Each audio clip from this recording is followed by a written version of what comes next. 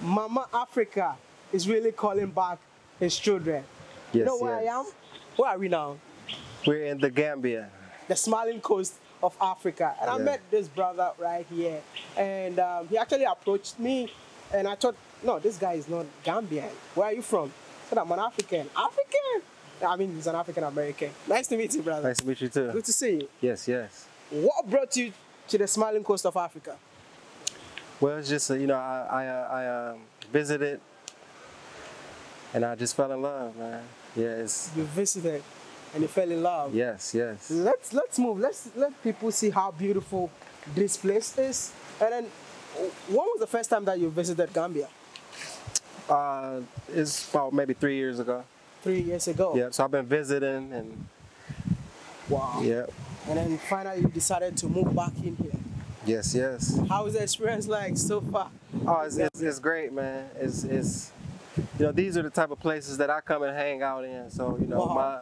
my my Gambia is it, it might be different from what other people are used to, but you know it's, it's plenty of resorts like this where you can come hang out and eat, Yeah. go swimming, and you know you got the beach here. You know. here.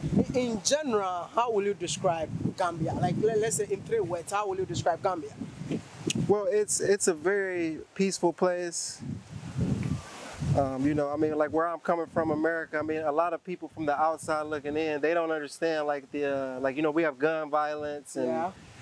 you know big uh, prison problems. You know, a lot of the black population are going to prisons and stuff, and Yeah.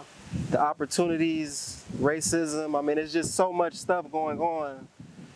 And when I visited here, you know, it's just like, oh, this is an option. You know, it's an option. You know, you, you don't have to stay. It don't. It doesn't matter where you live in the world. You don't have to stay there. Exactly. You know, you can travel, and you know, it's a lot of people from Europe here, Black Europeans. You know, but so a lot of people. Uh, They, they, they say America is the land of what? Milk and honey. Why would you leave the land of milk and honey to come settle down in a country like Gambia? Well, I, I would agree. I mean, I love America. I'm not I'm not like it's not like I'm I'm never going back. I'm always going back and forth. So I mean, Yeah. but it's just something new, you know. Okay. Uh, I mean, America, we have beaches and stuff that you can go. You know, I've been all around America, Yeah. so it's just kind of. It, it- everybody's black here, you know. It's just like, you know, you see you have people just. Yeah. It's very peaceful here. The people they they they're they're very welcoming. Yeah. So so you, you just wanted to feel at home. That's the word you use because Well, I- yeah, yeah, and everyone around you looks like you. exactly, Ex- exactly.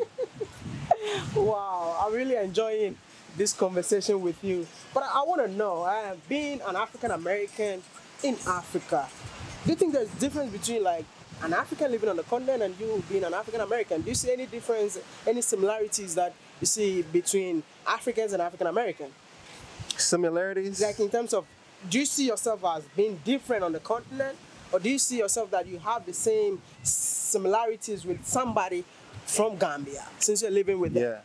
Well, there's there's things that make us different, which is I mean I think the number one thing is going to be uh, religion. So of course this is this is a Muslim country.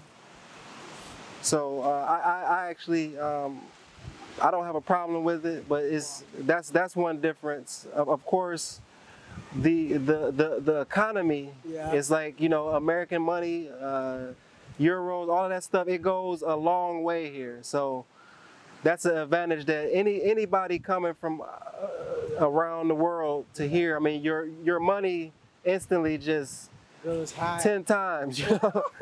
yeah. So wow, that's amazing. So which means that cost of living is very low. exactly. Wow.